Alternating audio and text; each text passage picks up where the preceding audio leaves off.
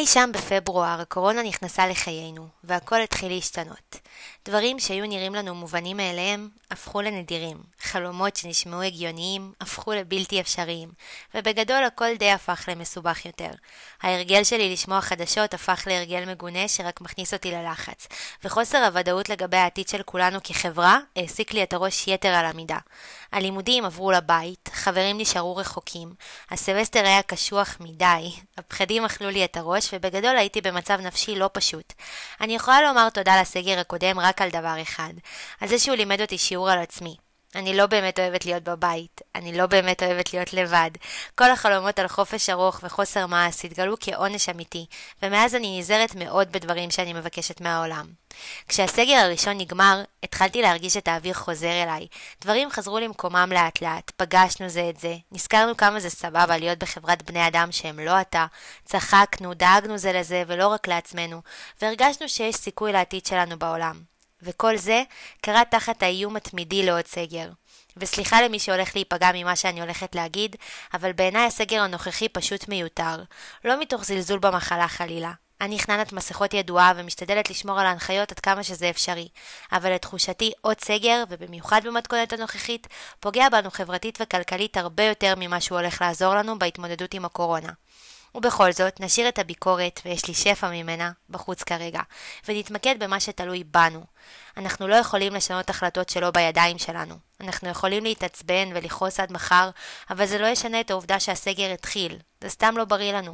בדיוק בגלל זה, החלטתי לנסות לשנות גישה, מתוך מחשבה אגואיסטית על עצמי ומתוך רצון לצאת מהסגר בריאה נפשית ופיזית לפחות כמו שנכנסתי אליו. אז החלטתי לגבש כמה כללים בשבילי, ולשתף גם אתכם, בתקווה שהם יעזרו לנו להפוך את הסגר הזה, שנשמע כרגע כמו עונש, להזדמנות לעשות טיפוס לחיים שלנו, להתפתח ולגדול.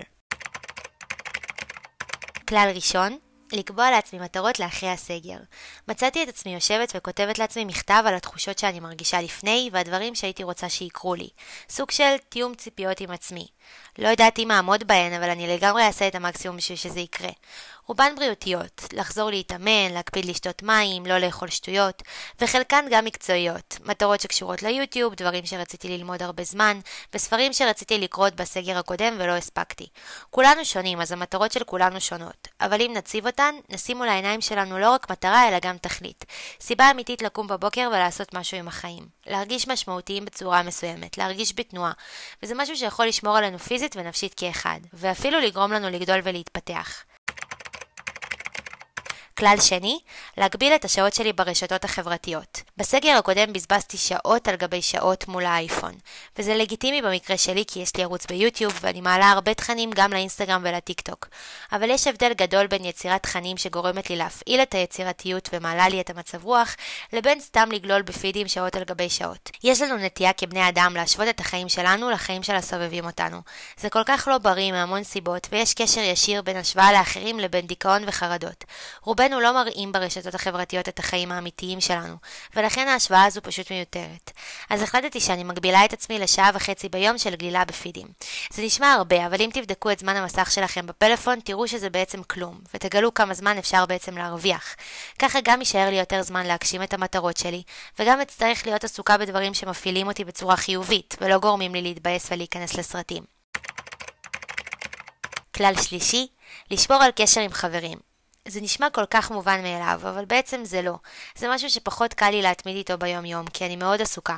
עכשיו, כשכולנו רחוקים וסגורים, דווקא יש לנו הזדמנות לשמוע מה שלומם של החברים שלנו. אבל באמת. אני מתכננת לשלוח הודעות ולהתקשר לחברים שלא דיברתי איתם הרבה זמן וחשובים לי, בשביל לשמוע מה קורה איתם בחיים מתוך התעניינות כנה. אני מכירה אותם ויודעת שזה חשוב להם, ולצערי לא תמיד הייתה לי הזדמנות לעשות את זה כמו שצריך. וכמובן, גם להמשיך לשמור על קשר עם החברים שמקיפים אותי ביום-יום. ויש המון דרכים שמאפשרות את זה. בסגר הקודם דנה, חברה שלי ואני, שמרנו על קשר באמצעות שיחות זום קבועות בערב, שצפינו בהן בפרקים של השיר שלנו ביחד. אני זוכרת שזה היה אחד הדברים שהשאירו אותי שפויה יחסית, והרגשתי שיש לי למה לחכות ביום-יום. אז ממליצה גם לכם לא להתנתק מדי מחברים, לקבוע שיחות טלפון, וידאו או זום, ואפילו סתם לשלוח הודעה מדי פעם. זה שאתם סגורים בבית לא אומר שאתם באמת לבד. כלל רביעי, לשמור על שגרות טיפוח. כשאנחנו יושבים כל היום בבית, יורד לנו החשק לצאת מהמיטה ולגרום לעצמנו להיראות טוב. ויחד עם זאת, כולנו יודעים שכשאנחנו מרגישים שאנחנו נראים טוב, אנחנו מרגישים טוב יותר גם מבפנים. אז למרות שכולנו בבית, לא כדאי לנו להזניח את עצמנו. יש לזה השפעות רעות לטווח הקרוב והרחוק. אם נקום כל בוקר בידיעה שיש לנו שגרת טיפוח קבועה שאנחנו לא מזניחים, אנחנו נרגיש הרבה יותר טוב עם עצמנו. מעבר לזה, כשאנחנו פותחים את הבוקר במקלחת, מחליפים בגדים ומתארגנים, יש לנו הרבה יותר כוח לעשות דברים במשך היום. ולא לבזבז אותו על שטויות. וכלל חמישי ואחרון, לסלוח לעצמי. ביום יום יש לי דרישות מאוד גבוהות מעצמי, וגם לסגר שמתי לעצמי המון מטרות, כי בא לי להיות עסוקה, אבל ממש חשוב לאזן. יהיו ימים שלא יהיו לנו כוחות לעשות בהם הרבה. לפעמים לא נרגיש טוב, לפעמים נהיה מבואסים. חשוב לסגור כל יום בסלחנות, לדעת שזה היה המקסימום של עצמך להפעם. לדעת ללכת לישון בלי רגשות אשם, בשביל לפתוח את היום הבא באופטימיות ובכוחות מחודשים. איזון זה הכל בחיים. אני מקווה שהסגר הזה יהיה טוב יותר מהקודם, ויביא איתו גם יתרונות והתפתחות אישית. מקווה שהכללים יעזרו גם לכם, ושהסגר הקרוב יעבור ממש בקלות ובכיף לכולנו. נכון שזו לא הדרך הכי מדהימה לפתוח איתה חג ושנה חדשה, אבל בואו נשתדל להביט על הדרך הזו כהזדמנות להתחיל את השנה ברגל ימין ולהתאפס על עצמנו. כי בסופו של דבר, הכל מתחיל מהמחשבות של עצמנו, ותלוי לגמרי בהחלטות שנבחר לקחת.